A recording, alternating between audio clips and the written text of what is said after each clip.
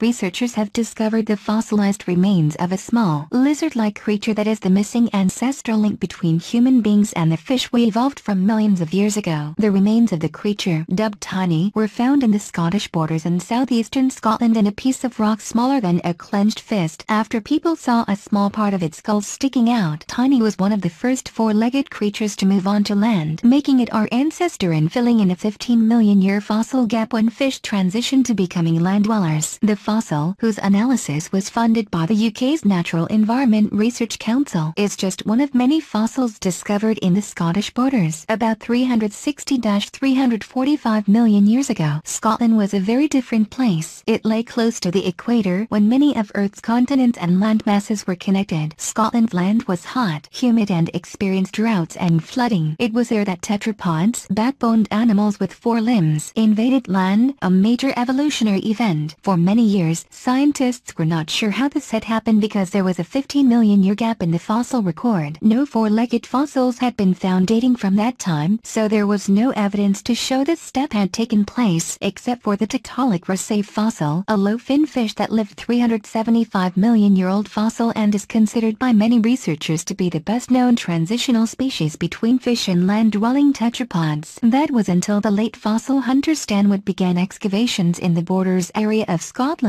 where he uncovered a haul of four-limbed creatures that help explain the evolutionary mystery. Still, the question of why creatures move from water to land remains but with every new find like Tiny, researchers say they're coming closer to answering that question. David Millward, a geologist at NERC's British Geological Survey, said every specimen tells us something new. Tetrapods are our ancestors. They are the missing evolutionary link from fish and on to lizards, then ultimately to birds, dinosaurs, mammals and to us as people today today. If tetrapods had not made that fundamental step we would not be where we are today. Millward suggested one theory of why creatures moved to the land. There were some very big carnivorous fish in the lakes and creeks and no large predators on land so developing limbs to live on land would give any creature an advantage. Millward says that he is sure there are numerous other specimens worldwide though the only other major site where tetrapods have been found so far is in Canada where the Tiktaalik fossil was found. Unlike in Scotland, researchers in Canada have also discovered well-preserved footprints which are helping to create a better understanding of how these ancient animals moved on land. We haven't found good footprints here yet, Millward says, but we're still looking.